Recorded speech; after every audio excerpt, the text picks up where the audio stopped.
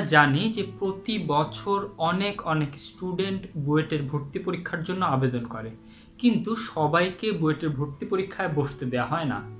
এবছর শুধুমাত্র বারো হাজার স্টুডেন্টকে বুয়েটের ভর্তি পরীক্ষার জন্য বসতে দেওয়া হবে।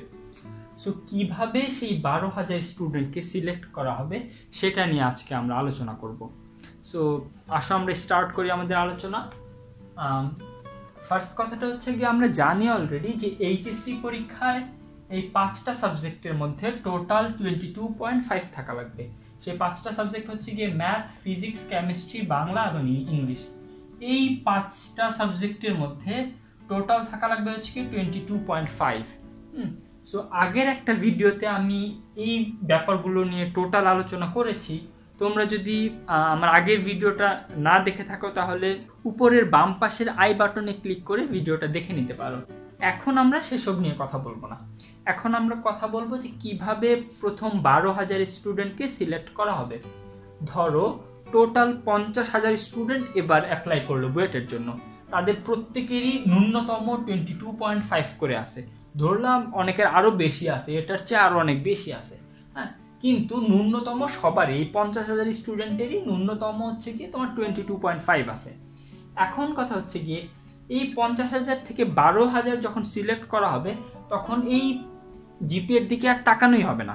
একেবারেই তাকানো হবে না। কে জিপিএতে টোয়েন্টি টু পয়েন্ট ফাইভের বেশি পাইছে, কে টোয়েন্টি টু পয়েন্ট ফাইভ পাইছে, এসব আর দেখা হবে না। একেবারে ওটা আর দেখা হবে না।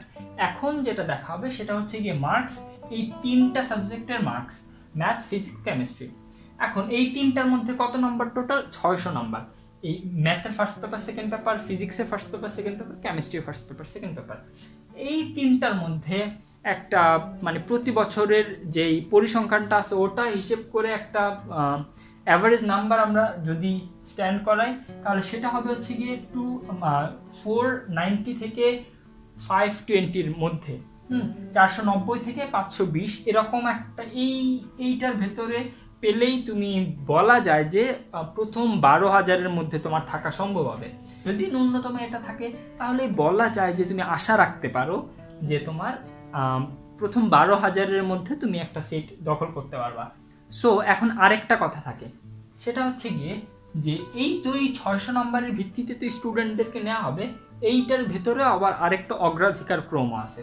সেটা হচ্ছে গিয়ে ফার্স্টে হচ্ছে ম্যাথ এবং সেকেন্ডে ফিজিক্স থার্ডে হচ্ছে কেমিস্ট্রি মানে এই ছয়শো নম্বরের ভিত্তিতে যে স্টুডেন্টদেরকে নেওয়া হবে, সেটার ভেতরেও আবার ম্যাথের নাম্বারকে সবচেয়ে বেশি গুরুত্ব দেওয়া হবে। এরপরে হচ্ছে কি ফিজিক্স এরপরে হচ্ছে গিয়ে কেমিস্ট্রি কেমিস্ট্রি নাম্বার হচ্ছে এখানে কম গুরুত্বপূর্ণ, সবচেয়ে বেশি গুরুত্বপূর্ণ হচ্ছে গিয়ে ম্যাথ আর ফিজিক্স বারো হাজারের মধ্যে ঢুকতে হইলে তোমাকে আর জিপিএ নিয়ে ফাইট করতে হবে তোমাকে এখন ফাইট করতে হবে ম্যাথ ফিজিক্স আর কেমিস্ট্রি এই তিনটার নাম্বার নিয়ে।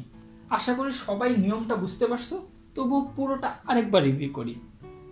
ফার্স্ট ব্যাপারটা হচ্ছে গিয়ে তোমাকে ন্যূনতম টোয়েন্টি টু পয়েন্ট ফাইভ জিপিএ অর্জন করা লাগবে। এখন এই টোয়েন্টি টু পয়েন্ট ফাইভ হয়ে গেলে এটার আর কাজ নাই। এখন তোমাকে এই বারো হাজারের ভেতরে ঢুকতে হবে। এই ছয়শোর মধ্যে যেই বারো হাজারের নাম্বার সবচেয়ে বেশি, তাদেরকে ভর্তি পরীক্ষার জন্য বিবেচিত করা হবে।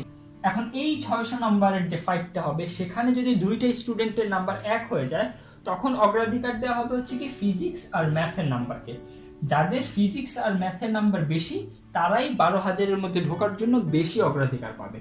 আশা করি সবাই বুঝতে পারলা। আরও যদি কোনো কোয়েশ্চেন তোমাদের থাকে বুয়েটের অ্যাডমিশন সম্পর্কে অথবা অন্য যে কোনো ইউনিভার্সিটির যে কোনো অ্যাডমিশন সম্পর্কে, কমেন্টে আমাকে জানাও। আমি ট্রাই করব প্রত্যেকে কমেন্টের অ্যান্সার দেওয়ার জন্য। আর আমি আমার এই ভিডিওতে অ্যাডমিশন টেস্ট নিয়ে বিভিন্ন তথ্য শেয়ার করি। তুমি যদি আমার সাথে যুক্ত থাকতে চাও, তাহলে সাবস্ক্রাইব করে যুক্ত থাকতে পারো।